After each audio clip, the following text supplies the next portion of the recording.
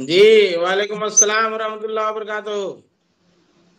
आवाज़ सर आपको मिल रही है प्रॉपर बहुत अच्छी आवाज़ मिल रही है आपकी। था कि मतलब हम आपसे जो है तीन मुद्दे पे, तीन टॉपिक पे आज डिस्कस करेंगे। उसमें सबसे पहला जो हमारा टॉपिक होगा, वो टॉपिक होगा ए सी एस श्री के के पाठक जो अभी जो है कुछ दिनों के लिए छुट्टी पे गए हैं या फिर ट्रांसफ़र हो गया, जबकि आज जो है आमिर सुबहानी साहब का आमिर सुबहानी सर का जो है एक मजमून वो पूरे जो है गर्दिश किया जिसमें ये कहा गया था कि ए C S K K Pathak again come come back on education department तो इस बारे में सबसे पहले हम जानेंगे। तो इसमें जो अभी तमाम इस के दरमियान में जो है काफ़ी ज़्यादा जो है वह हो रहा। तो इसी के बारे में फ़र्स्ट तासुरात लेंगे ए सी एस के के पाठक सर के बारे में। देखिए देखिए मोहतरम अब्दुल्लाहद साहब मैं आपको बता दूँ कि मैं तो कई एसीएस को देखा हूँ और कई एसीएस से हमें मिलने की सादतें नसीब हुई हैं जिसमें जनाब जनाब पाठक साहब भी हैं। अ, मैं इनकी बड़ी अ, मैं मैं इनका बड़ा मदा हूँ इसलिए कि ये वाकई में ये वाकई जो है बहुत अच्छा काम कर रहे हैं किसी मामले में किसी को इन पर एतराज़ हो सकता है लेकिन कुल मिलाकर बात है कि बहुत अच्छी मैंने अच्छा काम ये कर रहे हैं। देखिए इनका जो। इनका जो टर्म रहा ये बहुत अच्छा रहा खास करके एजुकेशन में और तीनों सेक्टर में इसातजा के मामला में भी बहुत अच्छा रहा। बच्चे स्कूल आने लगे ये भी बहुत अच्छा रहा।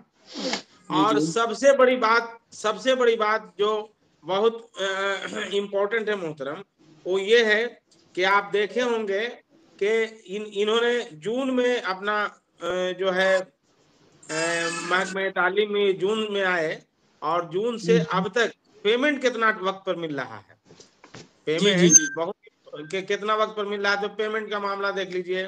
या और भी कुछ देखिए मिशन दक्ष जो चला रहे हैं ये मैं बहुत ही इसका कदरदान हूँ। वाकई में स्कूलों में वो बच्चे जो मेन स्ट्रीम से थोड़ा पीछे छूट रहे थे उनको भी एक चांस मिला है। हम लोग थोड़ा टाइम दे करके उन बच्चों में बहुत वाकई में सुधार आ रहा है।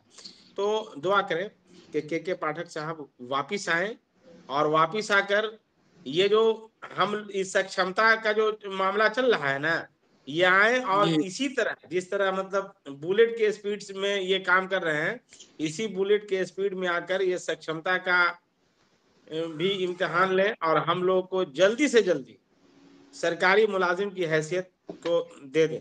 तो ये जितना बेहतरीन से और जितना स्पीड में काम कर रहे हैं मैं नहीं समझता हूँ कि दूसरे लोग आकर इसी तरह से काम को शायद अंजाम दें। इसलिए दुआ करें कि एस एस पाठक साहब वक्त पर सत्रह तारीख को मतलब अपना महकमा में खिदमत पर वापस आ जाए। तो ये बहुत अच्छी बात है। हाँ कुछ रही है कुछ कमी रही है जैसे देखिए अब्दुल्ला साहब ये जो छुट्टियों में जो तरमीम किया ये बहुत बड़ी कमी है। छुट्टियों में मतलब ये इस तरह से तरमीम नहीं छुट्टी वही अगर बहाल हो जाए छुट्टी वही अगर बहाल हो जाए और स्कूलों की टाइमिंग जो पुराना था वो अगर रह जाए तो इन दो चीज़ों के बाद के के पाठक बहुत अच्छे अफसर हैं और इन जैसे अफसर को वाकई में महकमा तालीम को ज़रूरत है। जी जी जी जी।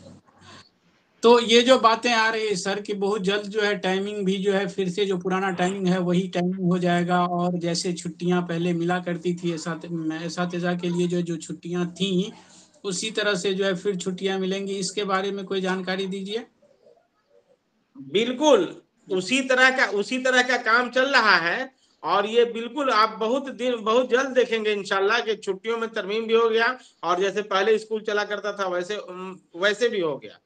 ये काम चल रहा है और इसमें तरमीम होने का बहुत गुंजाइश है। और यही नहीं मोहतरम, मैं दुआ इसलिए कह रहा हूँ कि कीजिए कि जल्दी से मतलब वो सत्रह तारीख आए कि वापिस अपने महकमा में खिदमत अंजाम देने लगे पाठक साहब।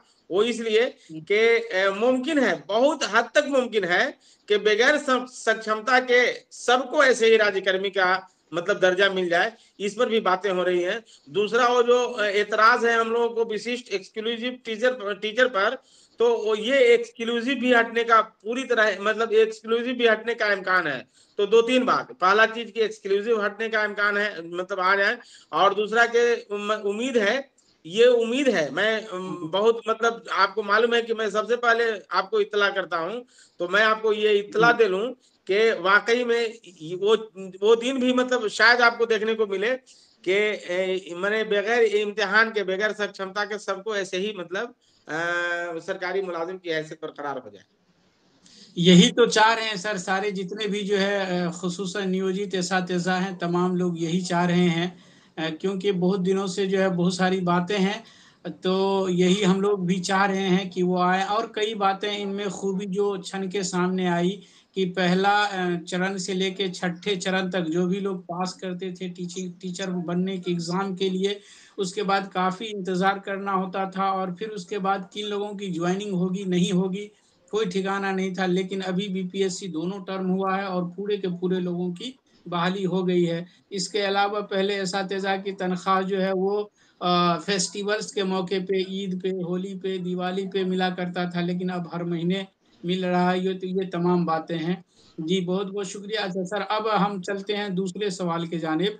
तो दूसरे सवाल का जवाब आपने इसी में बता दिया, फिर भी हम ये चाहेंगे, ये जो विशिष्ट शिक्षक नियमावली 2023 है, इसमें जो तरमीम की बात हो रही थी, वो मतलब कब तक उम्मीद है कि इसका जो है मतलब तरमीम शुदा नियमावली जो है विलकम ऑन मीन्स पब्लिक आने दीजिए सत्रह तारीख के बाद इंशाल्लाह बहुत जल्दी और बहुत स्पीड में इसी बुलेट की रफ्तार में आपको हाँ। देखने को मिलेगा।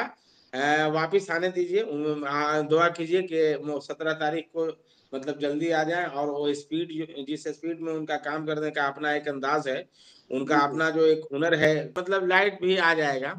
नूरानी चेहरा। आ ही गया तो ये जो बुलेट का स्पीड है इनका जी जी। बुलेट के स्पीड से मतलब वो काम जो है आ, मतलब शुरू हो और बहुत जल्द आपको ये इन ये चीज़ें जो आपने कहा ये देखने को मिले। मैं बड़ा मद्दा हूँ जनाब ए सी एस जनाब के के पाठक साहब का। को अंजाम देना।